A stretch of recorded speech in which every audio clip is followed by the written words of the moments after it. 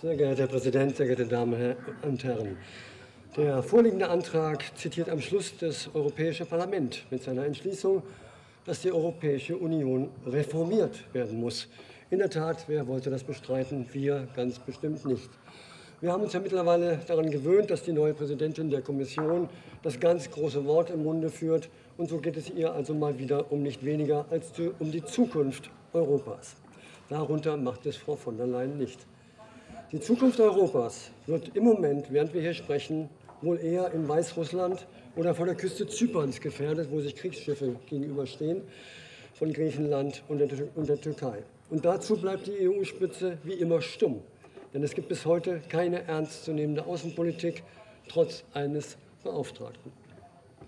Aber das Pathos derartiger Ankündigungen ändert nichts daran, dass die EU gerade jetzt in Zeiten der Krise sich wieder einmal als handlungsunfähig erwiesen hat. Gehandelt haben die Nationalstaaten ohne auch nur einen Augenblick an Brüssel und an sonstige Regulierungswut zu denken. Die Unfähigkeit der EU-Kommission, auf die Corona-Welle angemessen zu reagieren, ist umso bedauerlicher, als gerade die Ostseeregion zahlreiche positive Beispiele für die durchaus gelungene Kooperation zwischen europäischen Nachbarn bereithält. bereithält. In diesem Zusammenhang vielen Dank, Herr Minister, für den Bericht.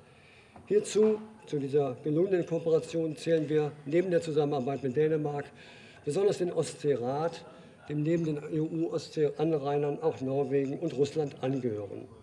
Der Ostseerat hat sich einer Stärkung der regionalen Identitäten sowie einer sicheren Gesamtregion verpflichtet.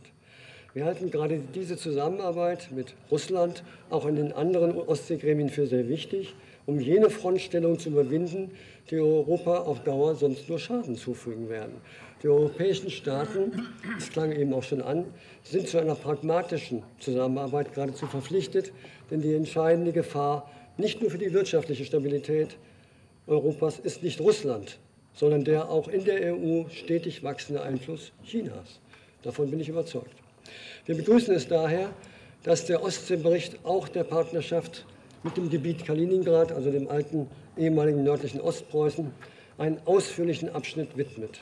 Diese Kooperation besteht mittlerweile mehr als 20 Jahre und wird über Delegationsbesuche hinaus von wichtigen Kontakten kultureller Einrichtungen, also Universitäten, Theatern, Musikschulen und Museen ergänzt. Wir sehen also, abseits von der EU-Bürokratie in Brüssel existieren zahlreiche konkrete und zielgerichtete Kooperationen, mit denen den Bürgern die Bedeutung einer europäischen Zusammenarbeit anschaulich gemacht werden kann.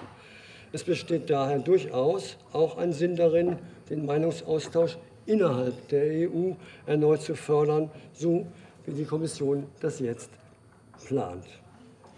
Eines muss jedoch klar sein, und der Kollege Olowati hat dankenswerterweise darauf hingewiesen, die Kritiker der derzeitigen Kommission und der gegenwärtigen EU-Wirtschaftspolitik dürfen in diesem Diskurs nicht ausgegrenzt werden, denn auch sie wurden, auch wenn es manchem wehtut, demokratisch gewählt und haben bei der letzten Wahl ordentlich zugewonnen.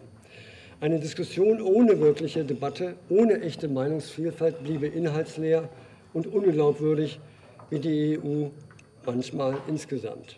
Die Kommission hat ja nicht zuletzt deswegen ein 8 Millionen schweres Medienprogramm aufgelegt, mit dem sie eine EU-freundliche Berichterstattung fördern will. Ein Schelm, wer Böses dabei denkt. Aber das ist ein anderes Thema. Aber zurück zur geplanten Konferenz und zum Antrag der SPD. Auch die EU-kritischen Kräfte brennen darauf, sich in den überfälligen Diskussionsprozess einzubringen. Daran werden wir als AfD zusammen mit unseren Kollegen äh, aus der Fraktion Identität und Demokratie gerne mitarbeiten.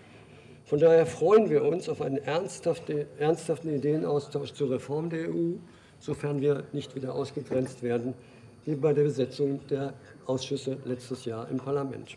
Wir freuen uns auf die Debatte und vor allem auf die guten Ideen für eine lange, überfällige, grundlegende Reform der EU.